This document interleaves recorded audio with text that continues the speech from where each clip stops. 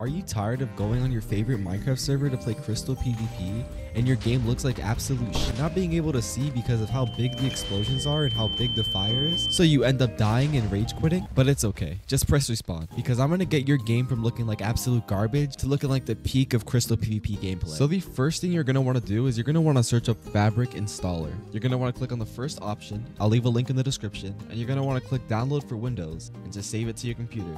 Once it's saved, make sure to launch it up and you want to select Minecraft version 1.20.6, the newest Minecraft version. Then you want to click on loader version and find 16. Then what you want to do is you want to copy the launcher location because we're going to need it for later. Then just press install and you installed Fabric to Minecraft. So the next thing you just want to do is you want to install my mod pack by using the link in the description. If it brings it to a page where it says the file is too big, just click download anyway to install it. To make it easier, just extract it to your desktop. So once it's extracted, open up a new file explorer by right clicking on your file explorer. Then you want to paste in the file location that we copied earlier and this is going to bring you to your .minecraft folder. So all you want to do now is select your mods folder and delete it and then select your config folder and delete it as well. So once they're deleted, all you have to do is drag the mods and config folder from my mod pack into your .minecraft folder. What this does is it installs all my mods and it also gives you my config so you don't have to set up the mods. And the final step is to open up your resource pack folder. Then you want to open up my resource packs folder and just drag all of the resource packs inside of mine into your .minecraft folder. That way you still keep your old resource packs, but you also get my additional resource nice. packs. So right off the bat, you should notice that Minecraft looks a lot different now.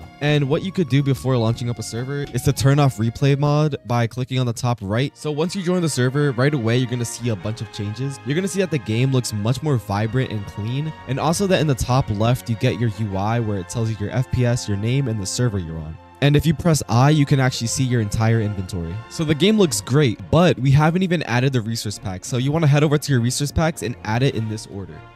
So if we head back to the hub here in the server, you can notice that all the players that have a tier for Crystal PvP have the tier right next to their name. So I'm gonna just jump in a fight so you can see what changes are made. If you can notice, when I pop a totem, it's actually small and doesn't cover my entire screen.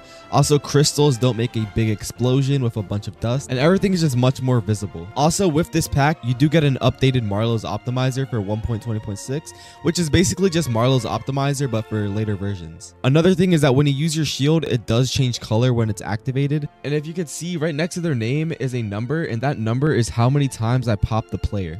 Moving on to controls, a lot of these mods have their own keybinds, which may interfere with your own crystal keybinds. So all you have to do is just disable a lot of them. And I'm to just give you my personal ones that I disable. Disable all of Iris's keybinds. All you got to do is click on it and click escape to unbind it. And the same thing for essential. Just unbind all of it because you don't really need it. Unless you want to actually bind it to something, feel free. And then all the other keybinds like replay mod, don't touch replay mod. It doesn't affect you in game. And some of the other mods may affect you. So just change the keybinds to your preference depending on your crystal binds. With these optimizations, you'll lag a lot less. The game will feel really smooth and you'll also crystal much faster with Marlow's optimizer. One of the mods allows you to see clearly in the dark. To do that, you can just press H to deactivate and activate night vision. Another feature is the hurt cam. If you press F8, you can turn off your hurt cam. And if you press F8 again, you can turn it on so your camera shakes when you crystal. And now I'm just going to show you guys some gameplay with these optimized settings. And I'm not the best player, but hopefully it gives you an idea of what the game could look like with my new settings.